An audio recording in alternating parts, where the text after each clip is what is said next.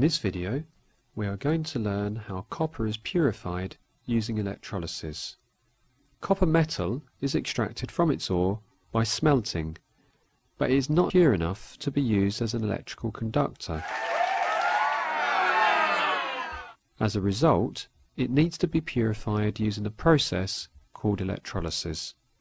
Electrolysis uses electrical energy to bring about changes where the electrolyte, a solution of copper sulfate, is in contact with a pure copper sheet and an impure copper sheet.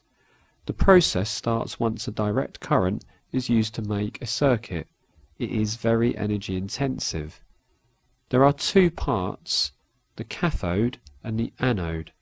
The pure copper sheet is placed at the cathode and the impure copper sheet is placed at the anode. What ions do you think are present in the copper sulfate electrolyte? The answer is that copper 2 plus ions are present in the electrolyte along with sulfate ions. And it's the copper 2 plus ions that will move between the anode and the cathode, allowing oxidation and reduction to occur.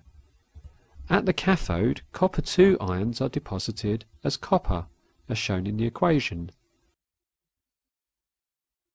As this happens, what do you notice happens to the size of the strip? Pause and continue when ready. The answer is that you should notice the cathode strip getting larger because pure copper metal is being deposited at the cathode. Did you get it right? At the anode, copper metal goes into solution as copper 2 ions, as shown by the equation.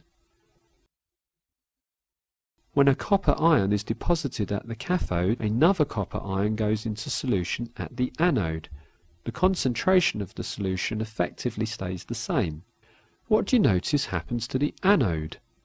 Pause the video and continue when you're ready. You should have noticed that the anode gradually disappears and sludge is left at the bottom of the reaction vessel. Here's a challenge. Why do you think that industries might not throw away the anode sludge immediately? Remember, the copper strip at the anode is impure. Pause the video and continue when you're ready.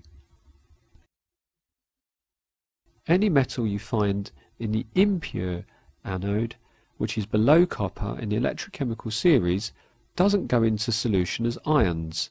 It stays as a metal and falls to the bottom of the cell as an anode sludge, together with any unreactive material left over from the ore.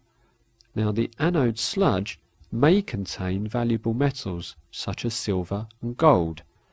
Metals above copper in the electrochemical series like zinc will form ions at the anode and dissolve into solution.